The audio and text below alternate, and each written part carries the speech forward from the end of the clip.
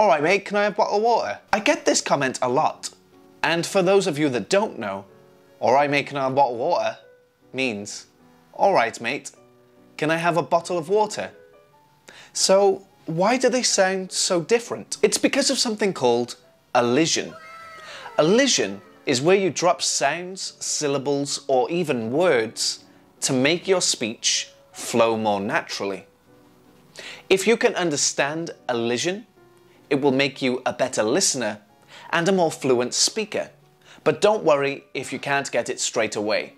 It will come with time from watching TV shows and movies featuring real accents. Now that part is really important. Real accents. You need to watch things with real accents. And I say that because the only people I expect to say, alright mate, can I have a bottle of water? would be students, English language teachers, or someone with a fake accent like Harry Potter. That's right, most people don't talk like Harry Potter or Harry Potter. In the real world, at least in the UK, alright mate, can I have a bottle of water?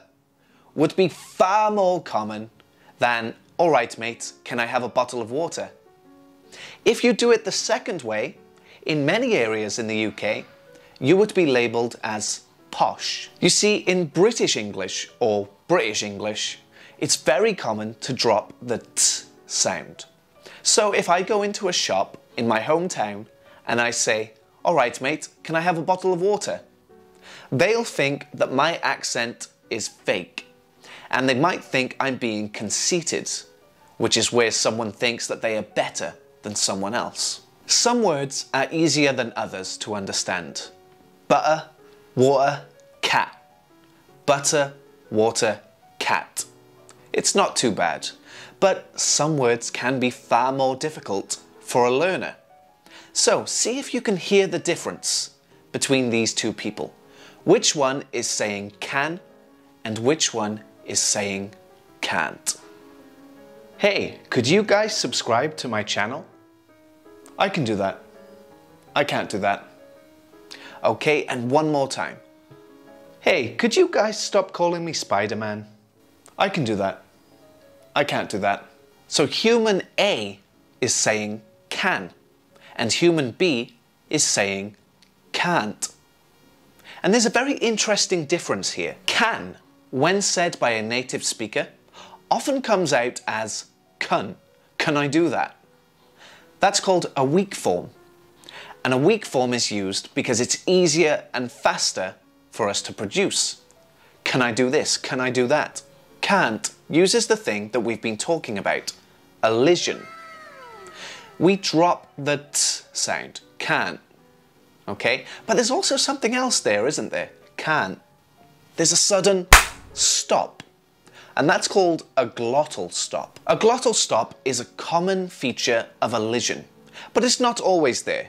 You'll usually see it at the end of word chunks. And you can find this glottal stop for yourself. Try saying the word uh-oh. Uh-oh. You might notice that there's a little stop between uh and oh. Uh-oh. Uh-oh. Something's happening in here.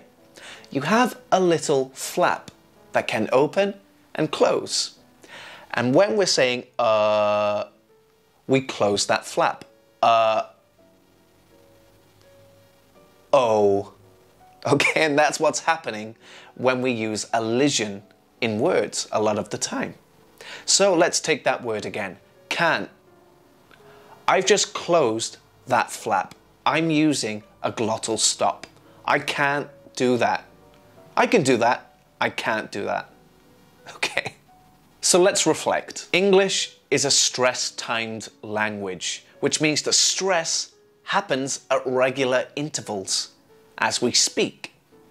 Every other word just needs to try to fit in that gap between the stressed words or sounds. The opposite of a stress-timed language is a syllable-timed language, like Mandarin Chinese. And in a syllable-timed language, every syllable gets roughly the same amount of time. People often tell me, that Chinese is the most difficult language in the world. But that's because they haven't tried learning English. But even though English can be difficult and it has so many different rules, I know that even you can become fluent in time. I'll see you later.